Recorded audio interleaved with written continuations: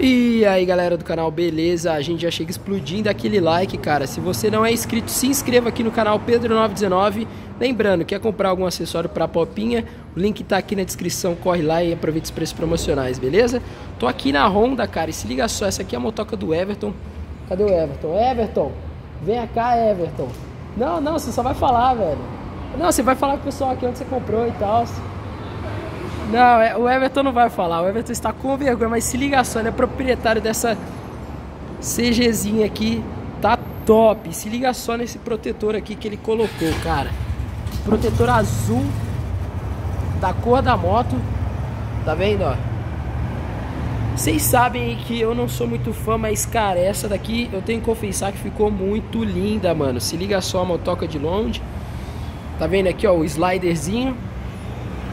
Tá, a marca aqui eu não sei, é um A, AA aqui.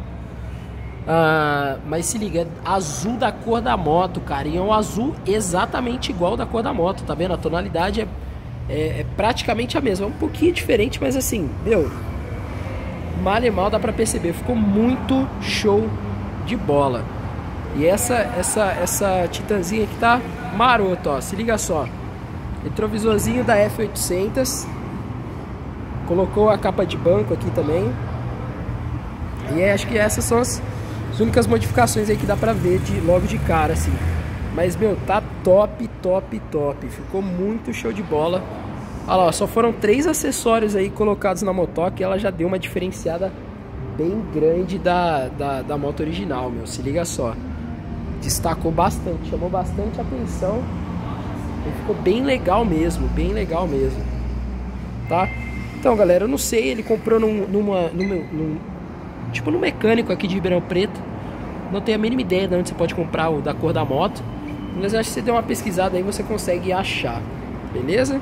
Isso aqui é a motoca dele, ó, o retrovisorzinho da F800. Cara, um espelhinho top, hein? Esse espelho aqui é bom, não é aqueles vagabundo não.